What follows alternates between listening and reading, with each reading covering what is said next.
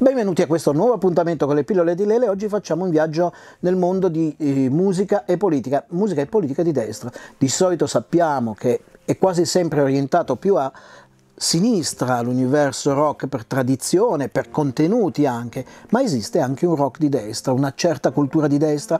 Sì, ne ho scoperti alcuni. Intanto consiglio la lettura di questo saggio ormai vecchio, eh, edito negli anni 70 dall'Arcana, si chiama Lambro Hobbit, autore Giuseppe Bessarione, e si parla di questi festival e del loro contraltare. Lambro Festival del proletariato giovanile di sinistra, Renudo, lotta continua, che si tiene a Milano nella metà degli anni 70 e eh, a destra questi piccoli eh, festival che si chiamano appunto Campi Hobbit, ispirandosi proprio ai racconti di Tolkien e alla tradizione nella quale una certa destra di quell'epoca si riconosceva e si riconosce anche oggi.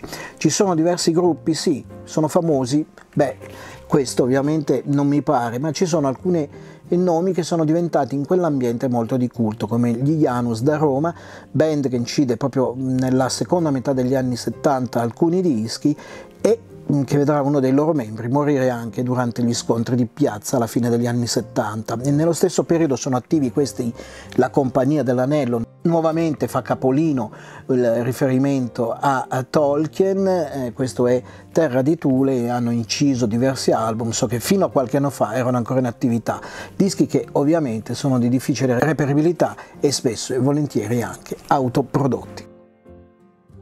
Come sempre io eh, vi saluto e vi ricordo di eh, iscrivervi al canale della Locomotiva cliccando qui sotto. Se non lo avete già fatto, così sarete aggiornati su tutti i prossimi appuntamenti con le pillole di Lele.